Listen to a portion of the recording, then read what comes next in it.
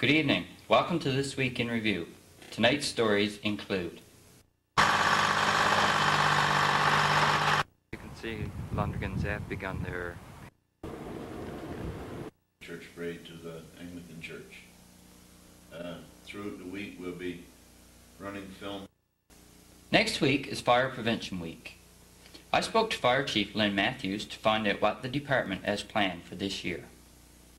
Chief Matthews, what activities do you have planned for Fire Prevention Week?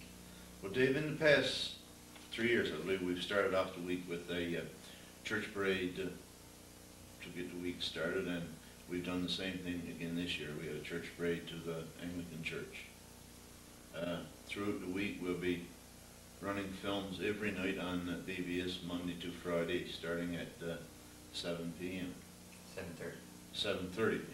Okay, Okay, what kind of uh, programs do you have for this year?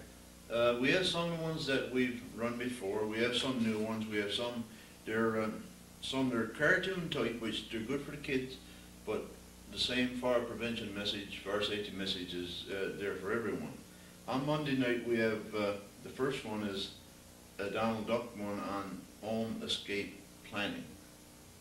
Uh, this one is, and after that, we'll run another one on home escape planning. Uh, the theme of this year's Fire Prevention Week is uh, Plan Your Escape, Fires Won't Wait. So everybody should be uh, two ways out if a, a fire do occur. So th these two are on, uh, on home escape planning.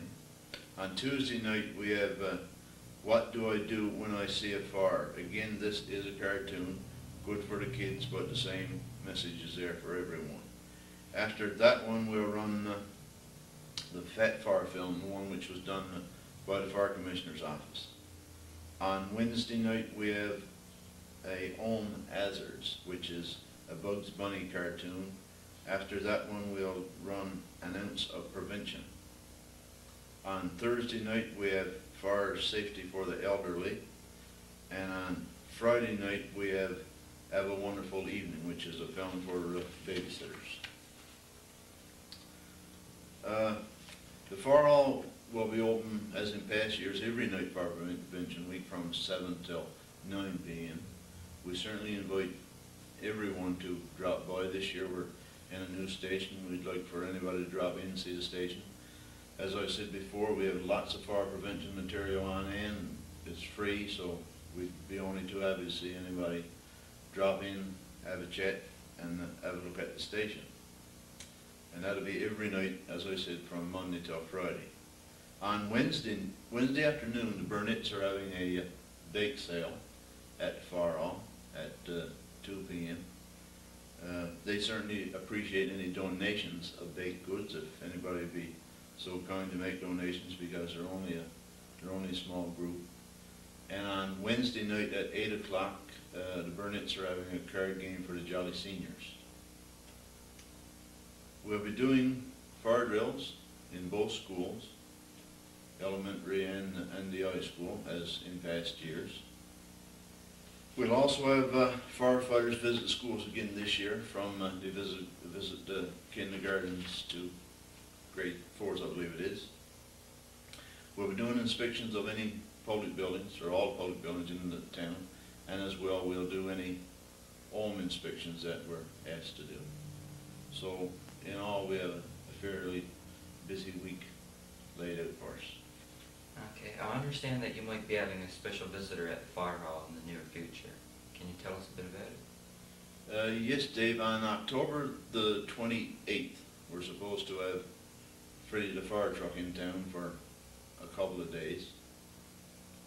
Freddie the fire truck, for those who don't know what he is, is a $8,000 computerized miniature fire truck. Uh, how this thing got started was last year at the Newfoundland Labrador Association of Fire Chiefs Convention in St. John's. The VOCM Cares Foundation donated to the Conception Bay South a Freddie the fire truck. Over the year, he got so popular that uh, many fire stations wanted a Freddie, which was not practical due to the cost. So this year at the uh, convention, the VOCM Cares Foundation presented two more Freddies, this time to the Fire Commissioner's office. Uh, one for Eastern Region in St., uh, from the St. John's office, and one to the Western Region in Corner Brook office. So now the Fire Commissioner's office, they control the two Freddies and see that they're distributed uh, to the fire departments in the region. What Freddie does, as I said, he's a fire truck. He uh, pumps water. He got a working siren, flashing lights. He plays music. He can do a little dance. He can blink his large eyes. And most importantly, he can talk. He's remote controlled. He can ask questions. He's very popular with the kids. He can ask questions and he can answer any questions that the kids have when they talk to him. So he's, as I say, it is a great way to get the fire prevention message across to the kids and again adults as well. What we're going to be doing is taking Freddie to the elementary school and visit kindergarten to grade fours. If he gets in on time, we'll be at the school on Monday the 28th. Uh, we'll probably have a uh, open house for preschoolers at the far hall some evening. And then some night we may have an open house, depending on what time we have and how long we have them for. We may have an open house uh, some night for any adults that might uh, like to drop in. So hopefully, if the date has been changed once, hopefully it won't be changed again, and we will have Freddie on, on the 28th. Okay, when is the new fire truck scheduled to arrive? The new truck is due in town next, or this Saturday, I guess, uh, around noon. He's supposed to be in. I talked to the company on uh, yesterday, and uh, he said he should be around noon on Saturday with the truck. Okay, so you'll be having drills on Saturday. Yeah, we got to do because because it's different. Well, it's a, basically the same type of fire truck, but it's different. This one is a diesel. There's some things will be different, so they're going to come in, bring the truck in, and do training with us on, on Saturday. You had a fire call on Thursday. Where was the fire? Uh, that was at the fish plant at the Sea Freeze. It was only, it was a minor thing. Uh, the workers working on the roof cut some plastic and insulation of fire, and they called us. But by the time we got there, that they had the fire out, so there was, there was no damage or anything. There was nothing serious. Okay, was this the first fire call you had out of the new fire hall? Yes, Dave, that was the first run of the new station. So how did it go? Went well. Luckily, that I mean, like I said, it was not a serious fire. So, Okay. Well, thanks for talking to us. you're quite welcome, Dave. Lonergans have finally begun laying asphalt on the section of road that they have been preparing to pave for the last month.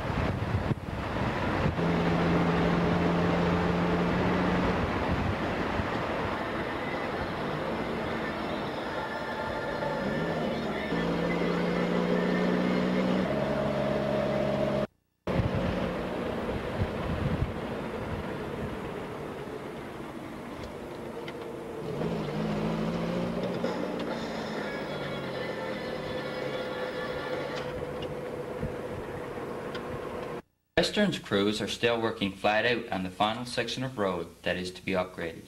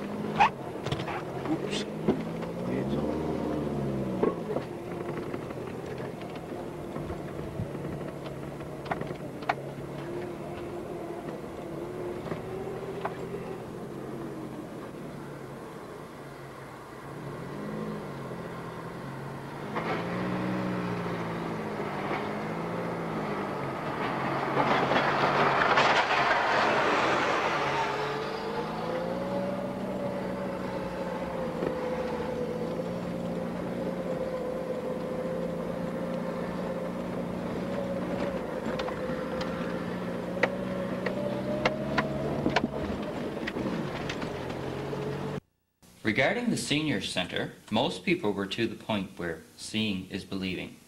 Well, this week it was no trouble to see them as work began on the project on Tuesday, after more than a year of contract disputes. Yes.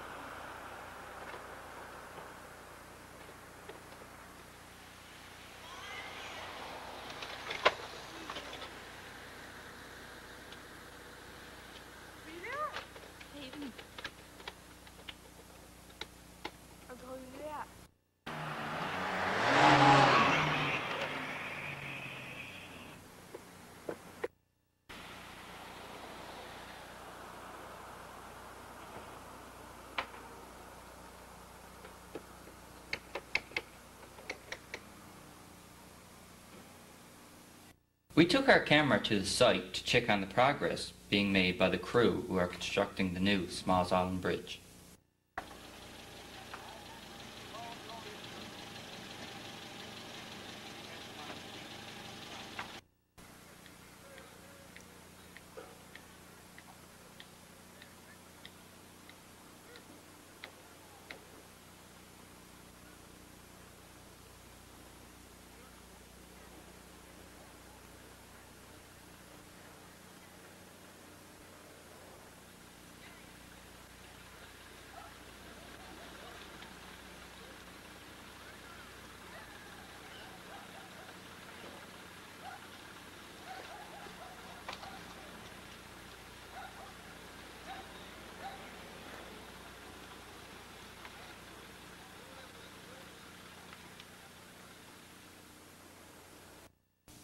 On Friday night, five members of the Pathfinders received the highest achievement in the guide movement, the Canada Cord.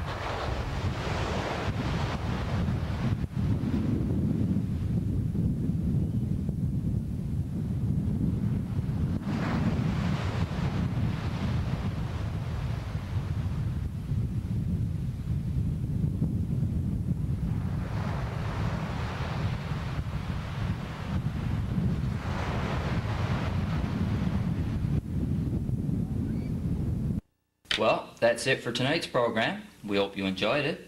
On behalf of BBS and the BBS volunteers, I'm Dave Cooper. Have a great week. Good night.